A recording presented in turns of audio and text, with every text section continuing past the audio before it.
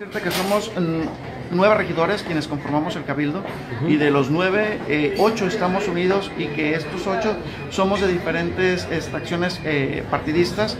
Están los compañeros del Partido Verde que son quienes están gobernando en turno y aún así están unidos con esta denuncia que hoy hacemos pública y sobre todo que en un momento más la llevaremos a los AFIC del Congreso del Estado respectivamente. ¿En qué consiste? Y esta consiste en dejar en claro lo que fue el proceso de licitación con respecto a la planta de tratamiento de aguas residuales en el municipio de Armería.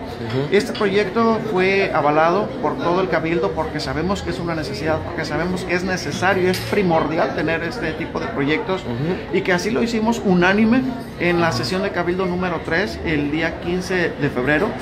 Y que bueno, sesión ordinaria fue por supuesto eh, compartirte que todos nos unimos a este proyecto necesario como te lo comparto. Sin embargo, fue el último día que tuvimos eh, respuestas a, ese, a esa aprobación que hicimos. Por azares del destino, el día 4 de mayo nos percatamos de que se estaban reuniendo en el mismo ayuntamiento de Armería eh, algunas empresas. Nuestra cuestión, nuestro, nuestro cuestionamiento en ese momento fue ¿para qué? Es ahí donde nos dimos cuenta que bueno, lo que estaban buscando era ya llevar a cabo el fallo de esa licitación. Por supuesto que eh, en el acta de la tercera sesión quedó asentado de que pasaría precisamente por el aval o por el visto bueno de lo que es el cabildo, ese proceso. De todos los regidores. De todos los regidores, cosa que jamás se dio, cosa que no se ha dado. Sobre esto, bueno, nos hacíamos varias preguntas conforme sucedía el desarrollo del proceso, del fallo. Pregunta número uno, ¿dónde está el proyecto? Proyecto, no existe proyecto como tal. Nosotros nos preguntamos, bueno, entonces, eh, eh, cuando ya supimos el resultado, ¿cuál fue la empresa que ganó? Eh, ¿Qué empresa fue la que ganó? Hypro este, fue la empresa que gana y que te presenta el, el presupuesto más elevado. Te, te, presenta el presupuesto máximo de 60 millones de pesos. Un poquito más. Y que bueno, cuando vi empresas que tenían eh, mejores presupuestos, mejores condiciones, cuando menos en cifra, y que por qué no fueron entonces las ganadoras en, ese fallo.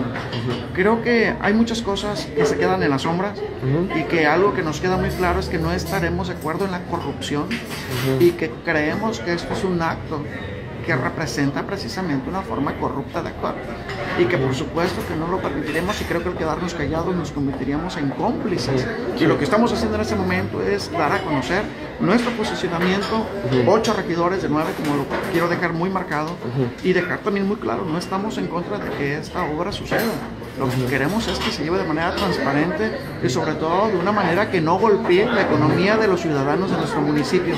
Sabemos que Armería es el municipio más pobre, sabemos que Armería en este momento está muy lastimado económicamente y las familias se mantienen precisamente de lo que es el campo, de lo que es la pesca, de lo que es la agricultura, cosa que no hay. Entonces si nosotros permitimos que esta obra tenga continuidad como tal, pues estaría otorgándose 20 millones, 19 a 20 millones aproximadamente de que tendrá que absorber el municipio y que al final de cuentas, ¿quién es el municipio? Los pobladores. ¿Por qué concepto? Bueno, pues a través del concepto de saneamiento y que de por sí la gente ahorita no tiene para ir a pagar un servicio de agua potable, predial y llámale con todos los servicios básicos que son obligación, por supuesto. Pero ¿por qué incrementar de manera abrupta, de manera irresponsable un recurso a que lo pague el pueblo? Creemos que en la medida que las cosas sucedan con transparencia por parte de nuestro presidente municipal. Y lo menciono así porque es con él con quien hemos intentado buscar respuestas y bueno, respuestas que nunca han llegado. ¿Este es el primer caso de corrupción que ustedes detectan por parte del alcalde? Eh, el más significativo o fuerte, creo que sí. Y bueno, los demás a lo mejor son detalles de interpretación. No quiero ahondar en aquellos, puesto que al final de cuentas creo que habrá tiempos para poder exponer cada hecho que suceda. Y que bueno, a lo mejor los pasados simple y sencillamente los hemos podido aclarar, hemos podido percatarnos y que bueno, vamos a, juntar todo lo que sea conveniente para decir quién está haciendo malas cosas, nada más. ¿Tu nombre es regidor? Omar Ernesto López Castillo, regidor. Gracias.